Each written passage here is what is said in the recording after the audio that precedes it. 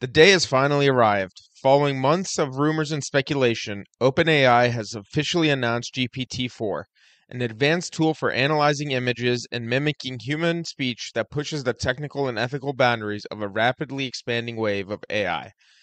ChatGPT, OpenAI's previous product, captivated and unnerved the public with its uncanny ability to generate elegant writing unleashing a viral wave of college essays, screenplays, and conversations, despite the fact that I could only generate text and relied on technology that is relatively on the older side. GPT 4, on the other hand, is more creative and collaborative than ever before, and can solve difficult problems with greater accuracy. According to OpenAI developers, GPT 4 is more likely than ChatGPT to provide factual responses and less likely to refuse harmless requests and the image analysis feature, which is only available in research preview form for a limited number of testers, would allow someone to show a picture of the food in their kitchen and request meal suggestions. With that said, OpenAI warns that the systems retain many of the same flaws as earlier language models, such as the ability to make up information or hallucinate and generate violent and harmful text. OpenAI has already partnered with a number of companies, including Duolingo, Stripe, and Khan Academy to integrate GPT-4 into their products.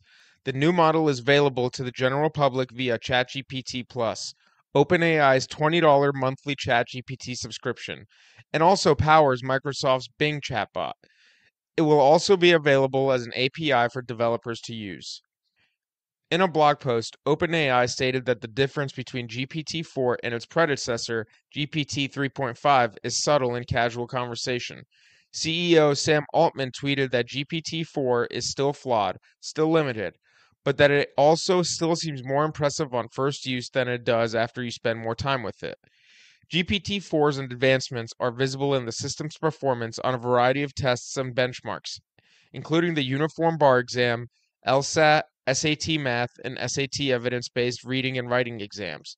GPT 4 scored in the 88th percentile or higher on the mentioned exams. GPT-4 and its capabilities have been the subject of much speculation over the last year, with many predicting a significant improvement over previous systems. However, based on OpenAI's announcement, the improvement will be more iterative, as the company had previously warned. People are begging to be disappointed, and they will be, said Altman in an interview in January. The rumor mill was further fueled last week when a Microsoft executive revealed in an interview with the German press that the system would launch this week. The executive also suggested that the system would be multimodal, capable of producing not only text, but also other mediums. Many AI researchers believe that multimodal systems that combine text, audio, and video are the best way to develop more capable AI systems. GPT 4 is indeed multimodal, but in fewer mediums than some predicted. As stated earlier in the video, the system can accept text and image inputs, and the tool will output text. Because the model can parse text and images simultaneously, it can interpret more complex inputs. OpenAI emphasized in its announcement of GPT 4 that the system had undergone six months of safety training and that in internal tests, it was 82% less likely to respond to requests for disallowed content and 40% more likely to produce factual responses than GPT 3.5. However, this does not preclude the system from making mistakes or producing harmful content.